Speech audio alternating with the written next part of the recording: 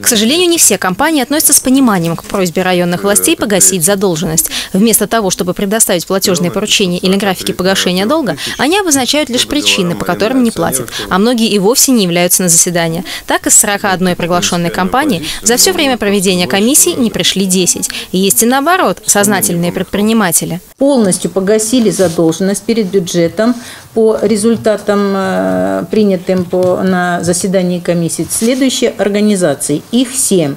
Это Лифтек, 11,9 миллионов рублей, Инвест спецпроект 17,7 миллионов рублей, Плаза Групп 1,9 миллионов рублей, Горка 2 ООО 1,2 миллиона рублей, Гема Инвест 7,8 миллионов рублей и э, Стройтера Инвест 2 миллиона и АСПК Одинцова филиал ООО Эко Рос 3,6 миллиона рублей. На этот раз среди должников оказались компании Ореол, Радиус, Инвестком, Стройтехинвест, Голицыно Монолитстрой, Строительные технологии и другие. Директора предприятий в основном предпочитают отправлять вместо себя на встречу своих представителей. Редко кто держит ответы самостоятельно. Основную арендную плату мы платили, а вот эту возросшую часть ну, можно сказать, по техническим причинам не платили. 12 августа эта вся задолженность полностью будет погашена, оплачена.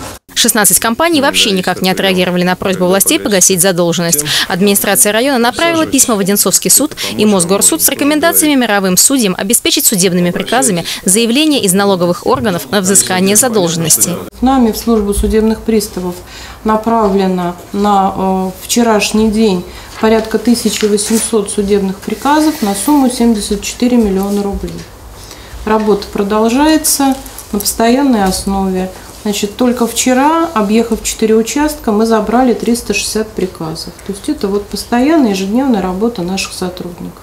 Дальше это ввод базу, просмотр на момент оплаты, потому что оплата идет достаточно активно, и потом уже направление пакета документов нашим коллегам, судебным приставам для взыскания. Андрей Иванов подчеркнул, что если должники ничего не предпримут для того, чтобы ликвидировать долги перед государством, то следующие встречи уже будут проходить в суде. Он еще раз напомнил, что выжидательная позиция предпринимателей, которые надеются, что все разрешится само собой, изначально неправильная, и долги придется отдавать в любом случае. А есть четкая четкие полномочия и обязанности у нас, как у чиновников.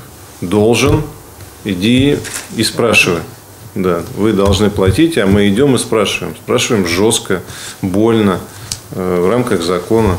Ну, это, это целый процесс. Мы сейчас этот э, механизм раскрутим, э, останавливать будет сложно. Комплекс мероприятий по погашению долгов включает в себя тесное взаимодействие администрации района со службой судебных приставов, Росреестром и ГИБДД. Анна Макарова, Артем Ломоносов, телекомпания «Одинцова».